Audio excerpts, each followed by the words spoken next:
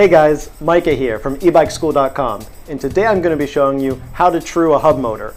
Now I've got my wife's e-bike here that's got this front hub motor that was never really done well to begin with. It's a cheap hub motor from BMS Battery, it's radially laced which isn't great, and um, it just has started to come untrue. So I'm going to true it up today, and I'll show you how I do that.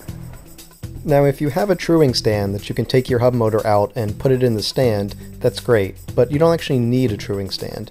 I'm going to show you how you can just flip your bike over and then true your hub motor while it's still in the bike.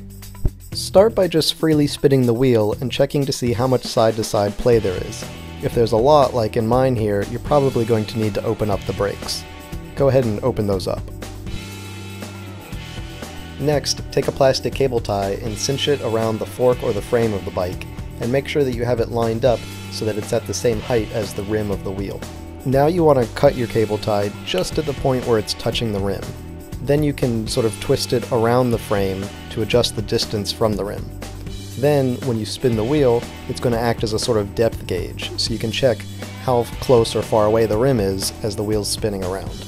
This will let you see how far out of true the wheel actually is. Now this truing process will make more sense if we know how these spokes work. A spoke is basically a long bolt, and then you've got this special nut called a nipple that goes on the other end.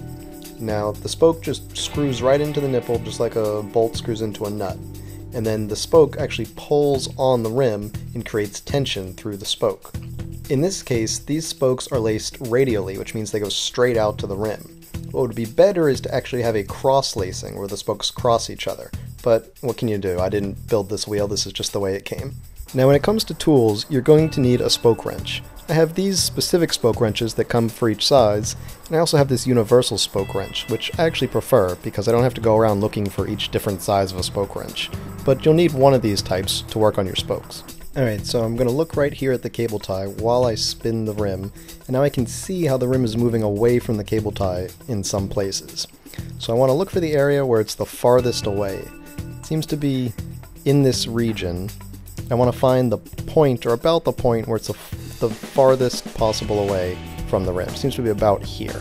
About at this spoke, really. So what I want to do is I want to tighten the spokes on this side of the hub, right? I don't want to tighten the other side because that'll push the rim further away, or pull it away. I want to pull it towards the cable tie. So I'm going to tighten this spoke because it's on the side of, uh, of the rim that uh, is closest to that cable tie. So now I'm going to skip one spoke and then do the next one. That way I'm staying on this side of the rim.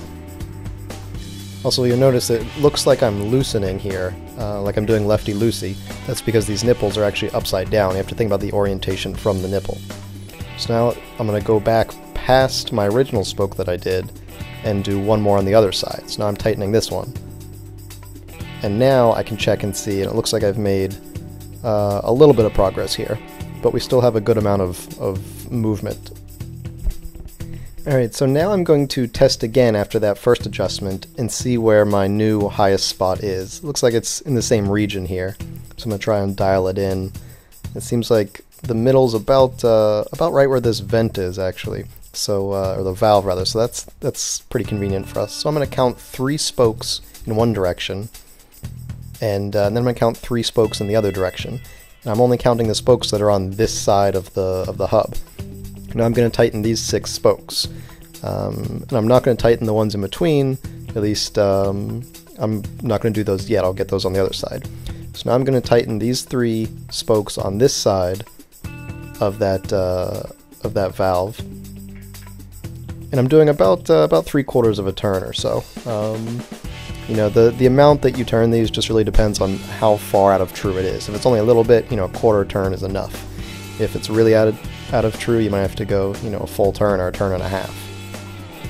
You know, it looks like we actually made some progress. You know, it's still out of true, but it's, it's closer than it was. Alright, and now that we've made some adjustments on one side of the wheel, we're going to come around to the other side, and I'm going to do that same trick here with the cable tie. And now I'm going to look on this side of the wheel and look for the area that seems to be the farthest away from that new cable tie there. I can see it seems to be uh, it seems to be about here, about um, about these two spokes here. So what I'm going to do is I'm going to count. Uh, I'm going to do five spokes on this side. So I'm going to count back. Uh, let's do three this way, And I'm going to tighten up five spokes.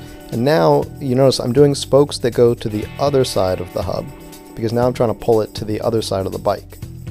So now this is going to be my third, uh, third spoke here. So I'm tightening these about uh, about half a turn or so. Again, the, the amount just really depends on how far it seems like uh, the wheel's out of true. So these aren't so bad on this side, so I'll do, do about a half a turn. And now if I bring in for the close look, this is actually quite good. Um, it's by no means perfect, but that's, that's less than a millimeter of side to side um, out of trueness, which is, is quite good. And so now there's actually one more aspect of trueness we need to look at, and that's the wheel hop. I'm going to add uh, another cable tie here just because it's going to make it a little easier to see. My first one wasn't so great. And wheel hop is, uh, instead of that lateral side-to-side trueness we were looking at before, this is how much uh, of a circle is the wheel, or is it an oval?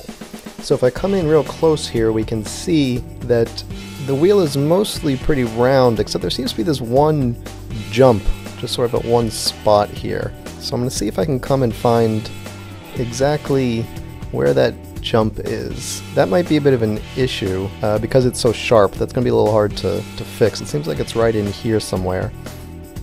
Um, see if we can find it exactly. Yeah, it's right here. Um, ah, okay. I see. That's that's actually right where the um, the mating line is, where they made this this rim.